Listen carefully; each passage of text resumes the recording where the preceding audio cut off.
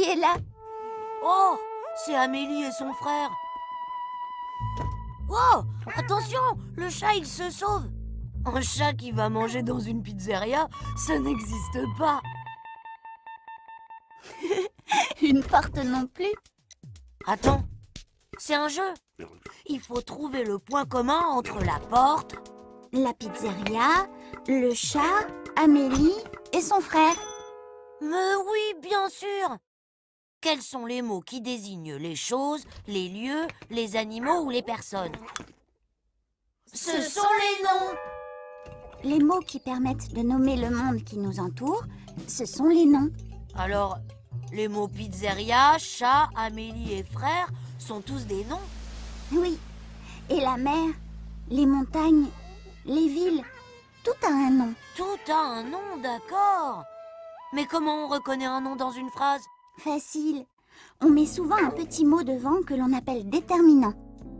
Un chat. Une pizzeria. Hmm, Des pizzas. Les assiettes. La porte. Les noms sont les mots qui servent à désigner les personnes, les animaux, les lieux et les choses qui nous entourent. La plupart des noms ont un petit mot placé devant eux qu'on appelle déterminant. Et euh, pour Amélie, on ne met pas un petit mot devant Non, on ne met pas de petit mot devant le nom Amélie car il désigne une personne.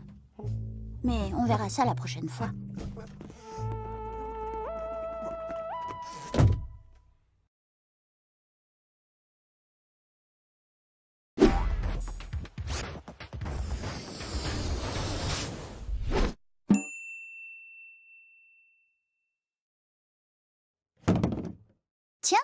Mais c'est la porte.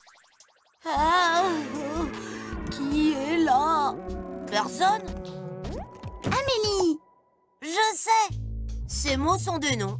Et on ne met pas de petits mots devant Amélie parce que c'est une personne. Mais Amélie s'écrit toujours avec un A majuscule. Le jeu, c'est de chercher les noms qui prennent une majuscule et ceux qui peuvent être accompagnés d'un déterminant. Le chat, Le frère d'Amélie. il s'appelle Amélo. C'est bizarre comme nom. C'est parce que ce sont des extraterrestres. Tu vois, son nom prend une majuscule. Parce que c'est une personne unique. Amélie, Amélo, quel méli-mélo Oh Oh Ils nous font une colère Un nuage C'est facile Rappelle-toi, on a vu ça la dernière fois. Tout a un nom. Les choses, les animaux, les personnes, même les émotions comme euh, la colère ou la joie. Les semaines, les mois, les lieux ou les fêtes. Paris, Noël. Mais il y a deux sortes de noms. Les noms communs Porte, nuage, colère, joie ou chat Extraterrestre Et les noms propres, comme euh, Amélie, Amélo, Paris ou Noël. Mais ils désignent toujours une seule personne, un seul lieu ou une seule fête. Et eux s'écrivent avec une majuscule. Tu peux même donner un nom au chat. Tim, par exemple. Alors qu'on peut mettre un déterminant devant un nom commun comme euh, le, la ou un. Les noms propres désignent des personnes, des fêtes et des lieux uniques. Quand on les écrit, on met toujours une majuscule à la première lettre. Les noms communs sont presque toujours accompagnés d'un déterminant. Trop facile. Tim, c'est un nom propre. Et un chat, c'est un nom commun. Mais on ne sait pas si ce chat est un mâle ou une femelle. Si c'est une femelle, alors c'est une chatte. Oui, mais euh, on voit ça la prochaine fois parce que là, on n'a plus le temps.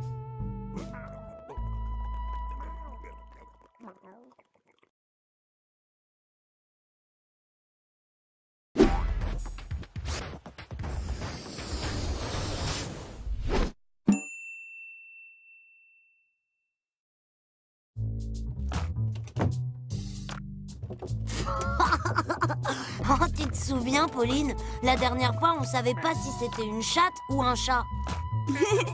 Et c'est vrai.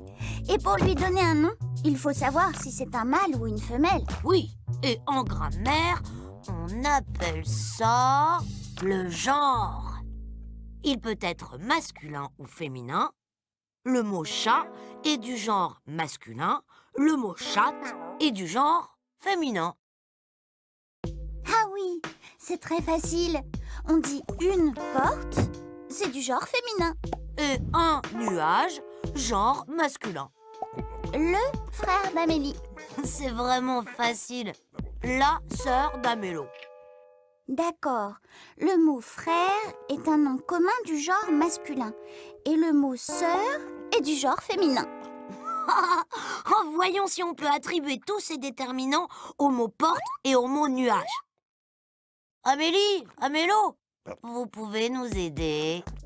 La porte, Le nuage, mon nuage, ta porte, cette porte. ce nuage. Merci Amélie. Merci Amélo. Et, et le mot tentacule, c'est du genre masculin ou féminin? C'est masculin. On dit un tentacule. Mais c'est surtout du genre à s'en mêler. Mais j'y pense. Il y a des mots qui peuvent avoir les deux genres, masculin et féminin. Tu as raison. Extraterrestre par exemple. Oui, on peut dire une extraterrestre, Ou un extraterrestre. Les noms communs de genre féminin sont précédés des déterminants une ou la, mais aussi par cette ou ma. Les noms communs de genre masculin sont précédés des déterminants un ou le, mais aussi par ce ou ton. Et avec tout ça, on sait toujours pas si c'est une chatte ou un chat. Peut-être en apprendra-t-on davantage la prochaine fois? D'accord.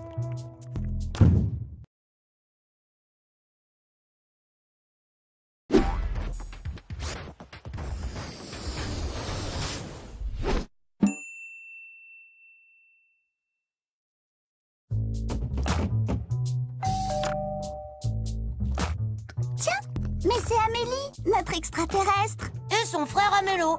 Et voici notre chat. Euh, on ne sait toujours pas si c'est un mâle ou une femelle.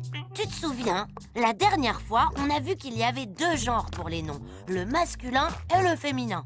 Oui, la porte, féminin. Le nuage, masculin. D'accord, mais un nuage, c'est un nuage. Une porte, c'est une porte. Ces noms ont un seul genre. Pourtant, il y a des noms qui peuvent se mettre au féminin comme au masculin. Ami, client, voisin. Et lui, c'est un ami, un client ou un voisin? Les trois. C'est un ami d'Amélie, mais c'est aussi le voisin d'Amélo et il est client de leur pizzeria. Oh oui, très bien. Un ami, le voisin, le client. Mais et si c'était une Tu veux dire une amie? Alors elle serait la voisine d'Amélo, mais aussi une cliente. Et donc les mots ami, voisin et client deviennent ami, eux, voisine, eux, et client, te. Oui, à l'écrit, il suffit d'ajouter un E à la fin du nom pour passer du genre masculin au genre féminin. Quel artiste cet extraterrestre? Et pour les noms artistes et extraterrestres Ah oui, ici, c'est le déterminant qui indique le genre masculin ou féminin. Une artiste, un extraterrestre. Ah, d'accord. Et pour Amélie et Amélo, qui sont frères et sœurs Oui, il y a des noms qui sont très différents à l'oral quand ils désignent un autre genre. Écoute, un homme, une femme, un cheval, une jument, une poule, un coq. On marque le genre féminin de différentes façons. Parfois, il suffit d'ajouter un E. Quelquefois, seul le déterminant marque le genre du nom commun. Et enfin, le nom féminin peut être parfois très différent du nom masculin. Et on dirait bien que notre petit chat est une femelle. Et tu sais comment former le féminin du mot chat? Mais oui, mais on voit ça une autre fois, parce qu'il y a encore plusieurs façons de marquer le genre des noms.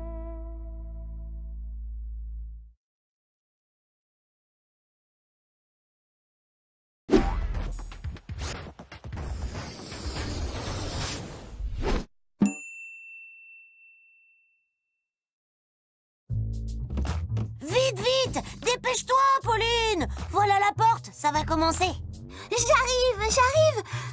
Ouf Je n'ai rien raté. Oh, mais qu'est-ce qu'ils attendent pour ouvrir? Oh là là, tous ces mots. Ah, mais oui, c'est ça. La dernière fois, on devait voir d'autres façons de changer le genre des noms. Par exemple, Zéphyr, sais-tu écrire le féminin du mot danseur? Bien sûr.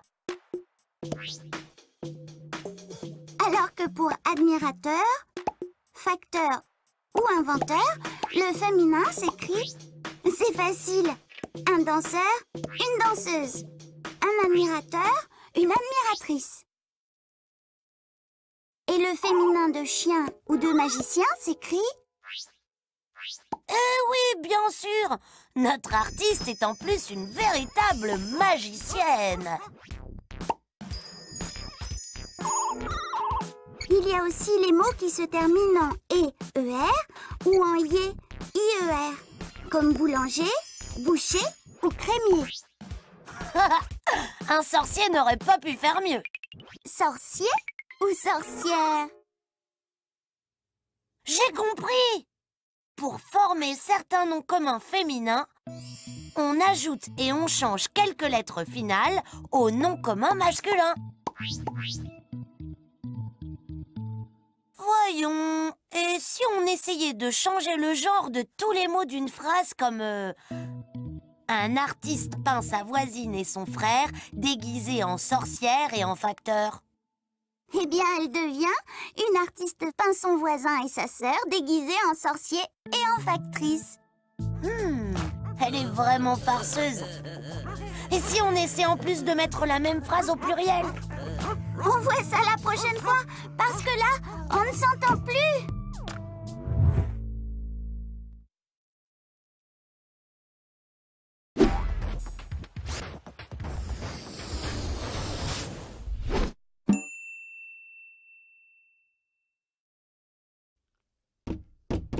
Tiens, revoilà la porte. Tu veux dire les portes Un extraterrestre mange avec son chat à la table d'un restaurant. Tiens, quels sont les noms communs dans cette phrase? Extraterrestre, chat, table et restaurant. On les reconnaît grâce aux déterminants qui sont devant. Il n'empêche, c'est absurde. Les extraterrestres ne mangent pas avec des chats aux tables des restaurants. Où veux-tu en venir? Tu ne remarques rien sur les noms communs? Oui, si on parle de plusieurs extraterrestres, plusieurs chats, plusieurs tables ou plusieurs restaurants, on le marque à l'écrit. C'est le pluriel. Alors que le singulier désigne une seule personne, un seul animal, une seule chose, un seul lieu. Ah oui Et on parle alors du nombre du nom. Le nombre d'un nom est singulier ou pluriel. Oui, une porte, Des portes, un nuage, des nuages, le chat, les chats, la table, les tables, un extraterrestre, des extraterrestres, un restaurant, des restaurants. D'accord. N'empêche, c'est absurde. On n'a jamais vu un extraterrestre manger avec un chat au restaurant. Mais non, c'était juste un exemple. Tiens, on va s'amuser à mettre des noms au singulier et au pluriel. Tu es prêt? Si je dis le facteur distribue des lettres, le boulanger vend des croissants. Toi. Tu dois mettre les noms singuliers au pluriel et les noms pluriels au singulier. C'est rigolo. Euh, voyons, euh, euh, les facteurs distribuent une lettre. Les boulangers vendent un croissant. J'ai compris. Pour écrire un nom singulier au pluriel, on lui ajoute le plus souvent un S. Il y a des exceptions, mais on voit ça la prochaine fois. J'ai trop faim.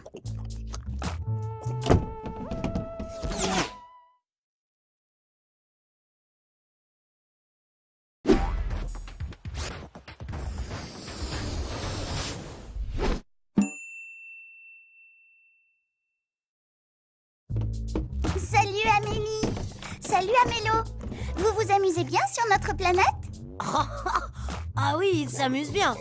Ils mangent un croissant, nourrissent le chat, se lancent une balle, se font un bisou et jouent au tennis avec un chou. Pourquoi pas avec un caillou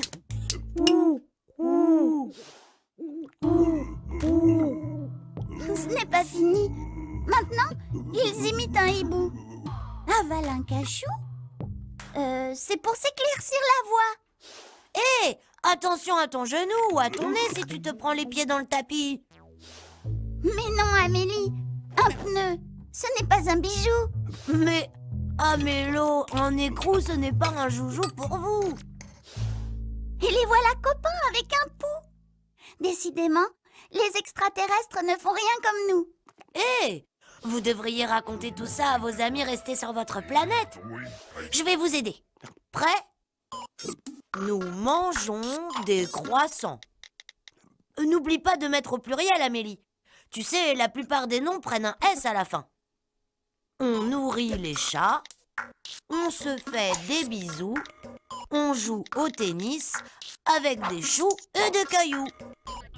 On imite les hiboux, on avale des cachous, on s'éclaircit la voix, on s'écorche les genoux, on se cogne le nez, on se prend les pieds dans le tapis, on met des bijoux, les écrous sont nos joujoux, et on est copains avec des poux. Moi, je la trouve très bien, leur liste.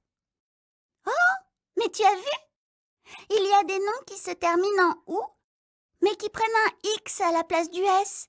Ah oui, tiens, c'est vrai. Ce sont des exceptions. Il y en a sept. On écrit des bijoux, des hiboux, des choux, des cailloux, des genoux, des joujoux, des poux avec un X à la fin. Tous les autres mots en OU prennent un S au pluriel.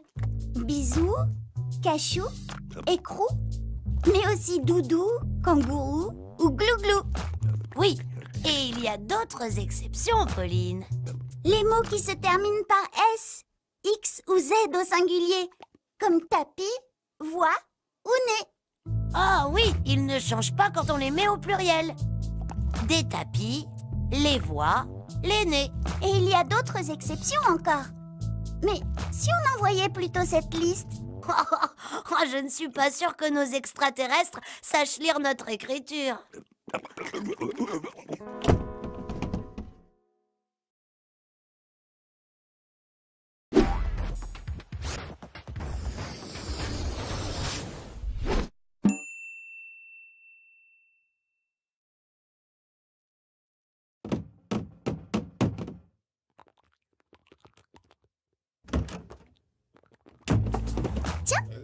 Je pense que les amis d'Amélie seraient contents d'avoir de ces nouvelles.